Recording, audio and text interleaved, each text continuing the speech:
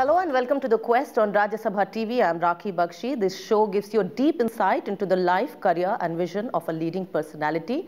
The guest this time on our show is a renowned scholar an eminent politician, a very senior member of the Congress party and very senior member also of the Rajya Sabha Parliament of India, Dr. Karan Singh. Welcome to the show, sir. And of course, let's go back to your early days, first of all. Born into a royal family to Maharaja Hari Singh and Tara Devi, what were those early years like? Well, they were rather unusual, shall we say. First of all, I was born in France by just a quirk of circumstances. I came back to India when I was six weeks old. And then I grew up. For the first five years, I was living with my mother.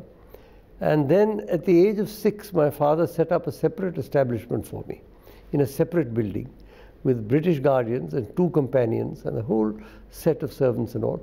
So for six years, I lived uh, separately. What was that parents. world like? Well, that was a world by itself. It was a self-contained world. I used to meet my mother thrice a week and my father once a week. It was an unusual uh, childhood, shall I say. But I think that my father realized that being an only son, uh, I'm likely to be spoiled in, in the court atmosphere. So he did that. And that went on for six years. And then at 11 plus, I went off to Doon School. And that was then wound up, that establishment. Next four or five years, I was at Doon. Uh, I used to come for my holidays. Uh, remember, this is a bifocal state. Yeah, It is Jammu and Kashmir. yeah. So in the summer holidays, we used to come to Srinagar, and the winter holidays to Jammu. And then, uh, then, I, then I developed, and things moved very fast. I So you went to problem. Doon School, so a school where there were other people, other boys, and there Lots you of other people. and you came here to again a sort of an area which was more confined and more strict in its regimen, maybe. So how was it like? How did you kind You mean how was Doon like, or how was the? How was like? the balance like? I would say. Well, I disliked uh, my, uh, my early terms at Doon, let me tell you, because I had come from a somewhat protected background. That's exactly what I was. food was unedible. Apart from other things, it was during the Great War, so there was rationing. Food was inevit- eh, inedible, and um, it was tough, you know, because I was uh, I look have to look after myself. But I learned a great deal. Had I not gone to Doon, I would not have been able to make the transition to democracy. That I'm certain of. Had I gone to one of the so-called princely uh, schools. Unlike many other normal children, your childhood was different and unique. Also, there is a deep sense of history which was there around you. There was a sense of history. I remember my father going in boat processions and uh, the Sera, big, huge Dasera parades and all. And then that suddenly disappeared. In fact, a Darbar was on when the raiders went to Mahura, the powerhouse, and the light suddenly went off uh, in October, October of 1947. And there was a turmoil, total turmoil. I was on a wheelchair, by the way. I had been hospitalized for six months in India. I, I wasn't able to walk. I was in a wheelchair.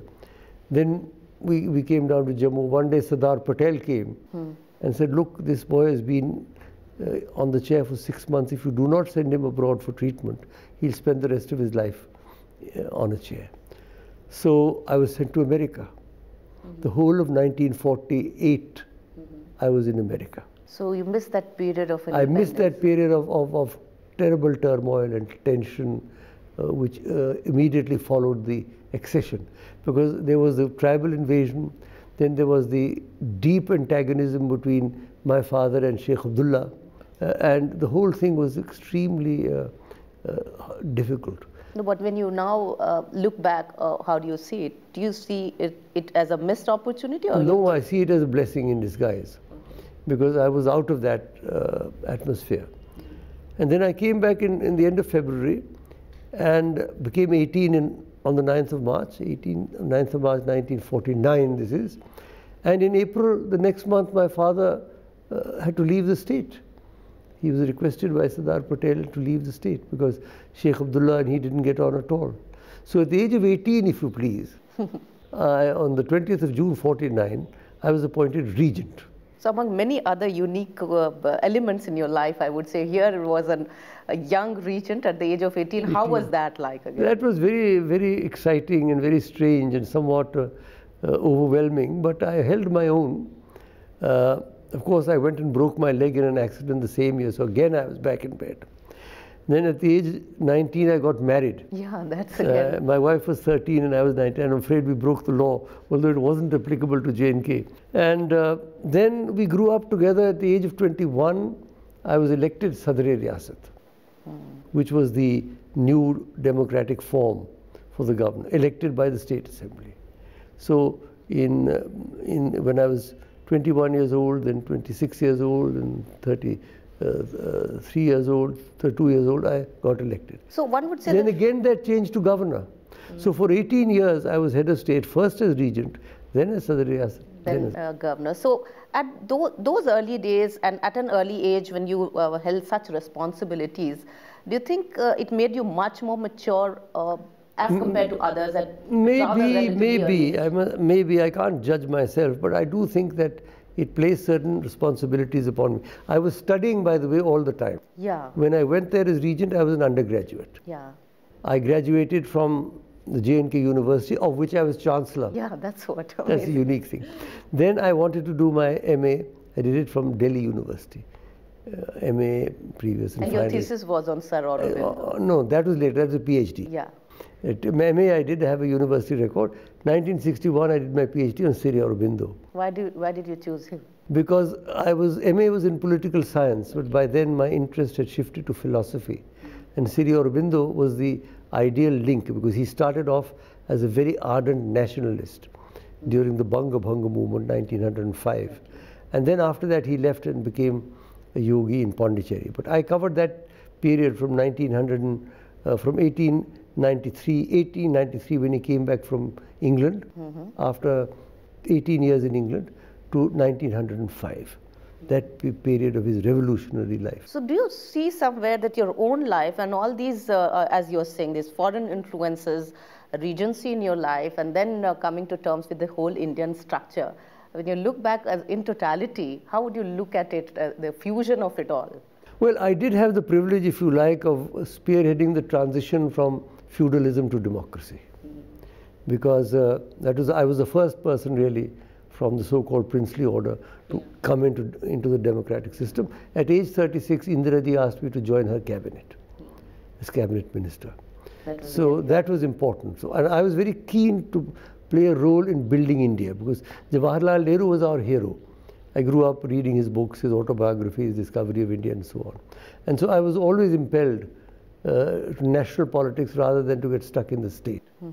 That was where my father differed, obviously, because he belonged to the uh, older generation, yeah. which was involved only in the state. So there's so much that we have to talk to you about, and there's so much to Dr. Karan Singh that we would like to know and we would be talking about, but after a very short break. You are watching The Quest right now, and we are talking to Dr. Karan Singh. So you were talking about those uh, days where you held different portfolios. Yes, that was when I was in minister. Yeah. My, my life is uh, divided into 18 year segments. First 18 years, I was a student, if you like, and I was a patient. From 18 to 36, I was head of state. At 36 exactly, I become cabinet minister. I can only say that very few people get this kind of opportunity. And for 18 years, then, I remained member of the Lok Sabha. But how was that political career like and those experiences? It was very interesting because, you know, there were great parliamentarians uh, at that time, most of them in the opposition. There was Hiren Mukherjee, there was Madhu Limaye, there was Nath Pai, there was Somnath Chatterjee. They were brilliant uh, opposition uh, MPs, Bhupesh Gupta in the upper house and so on. So as a minister, I had to answer questions in both houses. It was a tremendous training. I mean, I had done my PhD in politics, but I realized that academics has nothing to do with the way politics actually works. But It's this was a platform where you saw it all This was a platform where I saw it all happening and made some contribution, I think. We are talking about all this at a time when you see Parliament and its problems of functioning Hmm. and all this shouting and uh, sometimes also sadly personal attacks which go on. How do you feel at this time? I feel very distressed, in fact. Um, as chairman of the ethics committee of the Rajya Sabha, we came out with a code of conduct. And the first uh, item there is not to do anything that brings down the prestige of Parliament. And these disruptions and these shoutings and all do exactly that. They bring down the prestige and credibility of the whole democratic system. But when I was there first in the Lok Sabha for four terms, 18 years, we never had any such thing.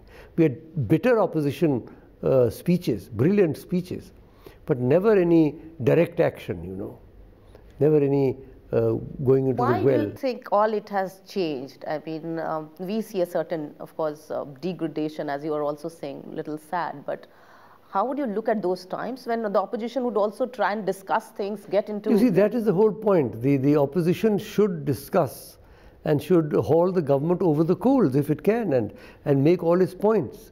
Now, when the opposition disrupts the House, they don't realize, but they are in a way doing a favor to the government because we don't have to answer any question. Yeah. What they should be doing is to hold the government accountable and responsible as a political scientist. That's what I would say. Yeah. That's what you should be doing. But if you, if you uh, shout and go into the well of the house, the house gets adjourned, there you are. The government doesn't have to give any reply. And so, since you're uh, head of the ethics committee here also, do you see a certain pattern now in the, in the way parliamentarians now behave and all kinds of things come up, sometimes it is not good. So mm, would you see some kind of a pattern in terms of uh, this? There is a pattern, I think, uh, I think the changing demography of, of, of the houses uh, and the fact that uh, a lot of previously submerged and suppressed sort of sections of the population are beginning to come into the mainstream. Then there are the regional parties who have their own um, agenda. So it has become very turbulent now, I must say. Mm -hmm. And the last few years in the Rajya Sabha have not been good. Uh, Though it is supposed to be having, you know, supposed to be the discussions. Of, yes, it's supposed to be the House of Elders and all, but it has been very bad. The last session, for example, was a washout. I think the one before that was a washout. So, as somebody who's been in Parliament, I came into Parliament uh, 46 years ago, and I was elected four times to the times to the Lok Sabha and four times to the Rajya Sabha uh, one has seen, I must say, a deterioration of standards in Parliament. I'm sorry to say that. And sadly, sir, also we're talking about morality in public life, and we know recently what has happened. We had two senior ministers who had to go, and uh, I can only say that uh, there was an example of you where uh, you know you, uh, you that time resigned that, yes. on, on moral grounds. Yes. There was an air crash. So how would you? Would you look at this whole, let's say, a crisis of morality? What can I say? There's certainly, I think, uh, I mean, I don't want to comment on any individual uh, event, but certainly I think there has been again a deterioration of, of standards of, of, uh, of public uh, morality and, and all these uh, scams and things that we have hit us recently. Whatever their reality may be, they have certainly not left a good impression on the general public. So between... But what would you say that being in public life, what would you suggest as a formula or some or, or the or the standard that you're talking about? Well, the standard is clear, but the question is how do you achieve that standard? And I think really the, the onus is on the political parties to see that their members do not behave in such a manner that brings parliament into disrepute. Basically, because everybody is under the whip, everybody is under the control after that act was passed, nobody can defy their party. And therefore, it is the responsibility of the political parties to ensure that their people do not misbehave. What, what, more can I say? And, and, and talking about corruption uh, largely uh, in society, again, this IPL match fixing going on. I mean, uh, as a philosopher also, which you are an intellectual, how do you look at this whole society, which is going maybe a period of churning? or There is definitely a period of churning, and there is definitely a degradation of values. You see, uh, the value system that was imparted in the freedom movement Mahatma Gandhi, for example, as you know, lived by the very highest values. Jawaharlal Nehru was our first prime minister for 17 years. There was a certain value system uh, and there was a certain uh, modicum of, uh, of morality that was always there. That seems to have been breached now. So, you know, once you start falling, there's no real end to the thing. And therefore, I think what we need really is a new cultural revolution in India a cultural revolution, not of the Maoist type, not violent type, but a psychological, a philosophical, a spiritual cultural revolution in India mm -hmm. is required. Since you're talking about the cultural revolution, I would also talk about um, uh, diplomacy, uh, which again you're heading the foreign affairs cell of the Congress party, and uh, talking about our neighbors, whether it's Pakistan or now China. Let's come to Pakistan first. Do you really see this recent election which has happened some kind of a hope in terms of the way it has? I look at it as a positive event, yes. Because uh, Nawaz Sharif has come back after 16 years and several of them spent in exile. And I think he's come back a maturer and a wiser man. And I think objectively also the circumstances are such mm. that it is clearly in Pakistan's interests to have good relations with India. You and it is in our interest. I see hope. I see hope. I mean, I'm not uh, uh, over optimistic. I'm not ecstatic about uh, the change. But the fact that for the first time you had a democratic transition in Pakistan. And uh, what about China, the Chinese premier? China is a, I met him. He's a very pleasant person, I must say, unlike the earlier leaders who were rather stiff and formal. He talks easily and laughs easily, and that is as far as personality is concerned. But every nation has their own interests, their core interests, like India has. And uh, when the core interests uh, clash, then one has got to be careful. But again, I feel that we have to sort out our problems with China. We cannot continue like this forever with an undemarcated border and constant possibilities of incursion and uh, escalation. There's so much more that we still have to talk to Dr. Karan Singh about, but we'll again uh, take a very short break. Uh, please come back again and watch the show. This is The Quest for you. Hello, you were watching The Quest, and we are uh, back again and talking to Dr. Karan Singh. We were talking about China, sir. So, how do you see the road ahead now? This is an important. It's a difficult road. Um, it's a difficult road with most of our neighbors, with Pakistan, with China particularly, with Sri Lanka, with Nepal. But we live in a, a turbulent uh, loc- uh, locality in, in this part of the world. And we've got to be prepared to meet the challenges. We have a special responsibility in SAARC, being the predominant country. And we've got to uh, improve our relations with all of these countries without uh, allowing our core national interests to be adversely affected. Now, that's a great challenge, um, a challenge which our diplomats and our government has to face. But I think we must, we must be prepared to face it. I think that we tend to get, if not we, I mean, some of the channels tend to get hysterical at the slightest uh, problem. You know, they almost declare war uh, on, on Pakistan. want- Why, not- why aren't you attacking there? What are you doing here? Kya kar rahe ho? Nalayak ho, kamzor ho, darpok. You see, that is not really a mature way of looking at things. You can have criticism. But this sort of atmosphere that is built up, almost of, of hysteria and, and passion, this is uh, not good because it also then uh, cabins and confines the government. When public opinion is aflame, even if the government wants to make some uh, conciliatory gestures or wants to come to some uh, uh, agreement, Yeah. uh, for example, the Bengal situation is an ideal thing. Prime Minister was going, there was going to be an agreement signed. At the last moment, there was a tantrum, and that was what that. uh, the, the, the element of maturity that is, I you think that. And uh, talking about again, since you are, uh, you've studied political science, you're an eminent politician. Talking about coalition uh, politics today, uh, how would you look at it? Well, that's come to stay. Coalition politics are definitely come to stay now, um, both at the center and in many of the states. And therefore, we have to uh, get used to it. but don't you think there are compulsions sometimes, and in the name of compulsion, things happen?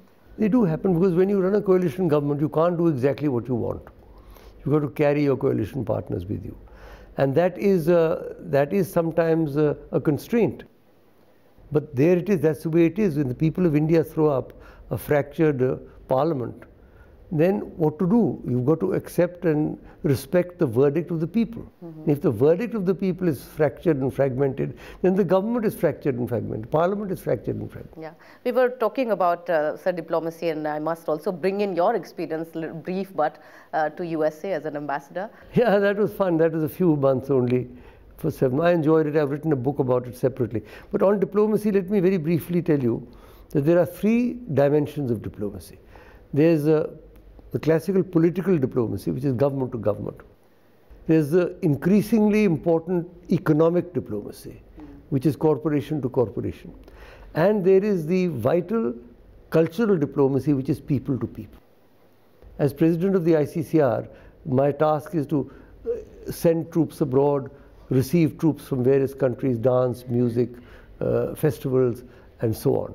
So that is very important because that is really, that touches the heart. And you think that's making an, an I, impact? well, I think so. It's very difficult to quantify. But I think that unless we move on all three levels, our diplomacy uh, won't really get results. Another area of concern for you, sir, is environment and uh, especially to protect tigers. You're yeah, I started that. I, I, was also responsible for the tiger becoming the national animal. Did you know that? When I took over as chairman of the Indian Board for Wildlife, the lion was the national animal. Oddly enough, I think because of the Ashoka lions. Okay, yeah. And I said, you know, this is absurd because the lion is found only in one part of India. So we passed a resolution in our first meeting urging the government of India to change the national animal from the lion to the tiger, which Indira took to the cabinet and did. And therefore, tiger became the national, and therefore Project Tiger, of which I was chairman of the steering committee. So I've had a long history with that also. I was also talking about books and your association with this uh, academic philosophical world, sir. Um, how do you see uh, this whole world and your own contribution and what you've well, done. It's uh, very difficult to assess. Books, you've written very, I've written books, I've done lots and lots of things. It's very difficult to assess one's own contribution. But I have a sense of satisfaction because I, have, I feel that I have played a useful role first in the state, then on the national scene, then in a way now on the international scene with my cultural work. So it gives me great satisfaction that uh, one is able to do something in a world that is torn by tensions and hatreds and all, to be able to bring a soothing touch, as it were, through music. Music is very important for me. It's played a major role in my life. And we have everything now from classical music to rock festivals in Delhi. Do you go to some I of them? I'm a rock addict. Okay, that's I something listen to rock music one hour every day. So I love Indian classical. I love folk music, which I myself have composed yeah, in Dogri, and I love uh, rock music. What about children, sir? I mean, among the two sons? Uh... Three children, two sons, a daughter, mm. and six grandchildren. And by God's grace, they're all growing up. Doing so, what is, what is the road ahead for Dr. Karan Singh now? And the well, dream? my basic thing is, is a spiritual quest of which we haven't spoken. You will have to have a separate interview with me yeah. about that. In fact, there's I, so much to your I, body of work that we I cannot uh, cover it on this. But the inner quest, I think, is very important. And uh, as long as I can uh, continue uh, to render some public service, I will do so. But meanwhile, I've got to start, continue to grow inwardly if possible. Are you writing something even now? Not really. I'm not speaking more than writing now because writing needs a certain amount of spare time.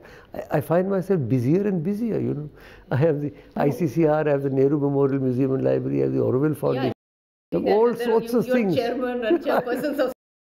And so I really don't get time to sit back and write, but I do speak a lot, and many of my speeches become articles. So, what is your message to the India today? My message is to keep the faith, to the young people particularly. Despite all the corruption and all the nonsense yeah, we see around us and all the negativities, we've got to keep faith in our culture and in our country and in ourselves. Because if we lose faith, then everything is lost. So, I mean, if I at 82 can be positive and optimistic. But the young people don't have young that patience. Young people don't have that patience, but they've got to learn uh, that their inner fire should not be quenched. It should always be burning. Thank you so much, Dr. Karan Singh, for talking to us and sharing uh, with us all those lovely experiences. And that was Dr. Karan Singh for you. And as I said earlier during the interview, there's so much that one wants to talk to him about. But in a short span of time, this is what we brought to you. And uh, thanks for watching the show. Namaskar.